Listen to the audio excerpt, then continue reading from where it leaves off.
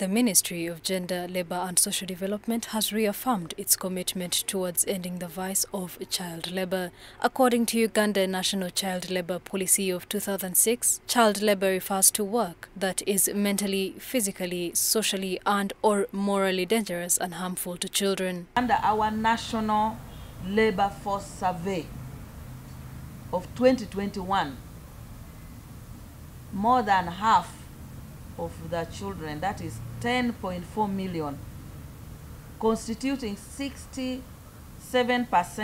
of children between 5 years to 17 years were found to be working.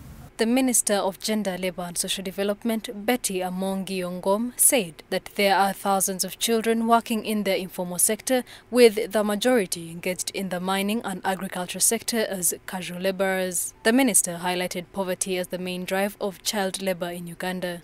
Poverty plays a big role, and that's why I indicated that all these programs that we are attempting now to take to the rural areas is to support the parents so that parents relieve their children from the hard work. According to Ongom, the ministry appreciates the dangers of child labour and has taken a number of measures, including following up with the industrial sector that they had previously warned against recruiting children and sensitizing people about the dangers of engaging children in work meant for adults. And given uh, guidelines to all our labor, district labor officers to go to factories and make sure that those working in those factories and in the markets and in most of the mining and, and uh, landing uh, areas do not constitute children. So many children have had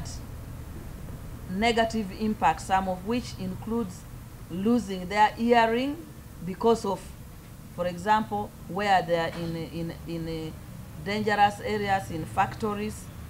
Poisoning, you see children going into garbage area to collect sensitization, awareness, and ensuring that we support our people with household income. The Honorable Amongi added that the ministry is moving to provide grants to the elderly guardians between the ages of 65 to 75 years as a way of improving household incomes. The beneficiaries will fill a form with the local community district officer. This is expected to help in fighting child labor due to poverty. That's why we said we need to empower the elderly, so we put in place a program which is called the special grants for the elderly.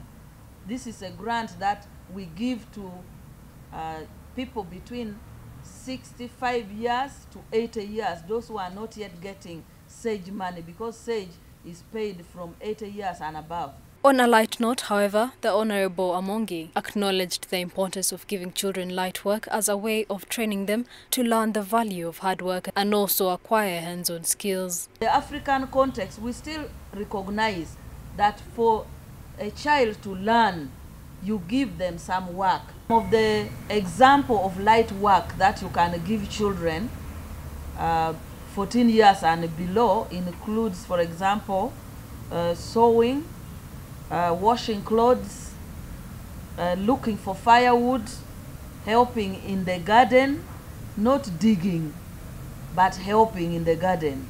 The 2023 World Day Against Child Labour will be commemorated on 12th June 2023 under the theme Social Justice for All and Child Labour. In Uganda, the Ministry of Gender, Labour and Social Development and other stakeholders will hold a dialogue in Kampala to discuss strategies and means to end child labour in the country.